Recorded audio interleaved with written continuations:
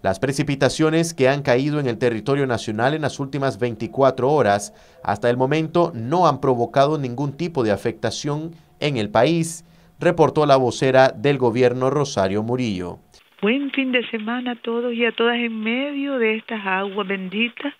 que algunas veces nos provocan estragos. Se trata de la depresión tropical número 14 que ha provocado lluvias. Lluvias hasta el momento, hasta el momento sin consecuencias catastróficas, gracias a Dios, en muchas partes del país. Hablamos de más de 60 municipios. Precisamente el doctor Guillermo González como responsable del Sistema Nacional de Prevención y Atención a Desastres, está en gira por el departamento de Rivas, donde se habían anunciado lluvias muy fuertes y monitoreando el resto del país.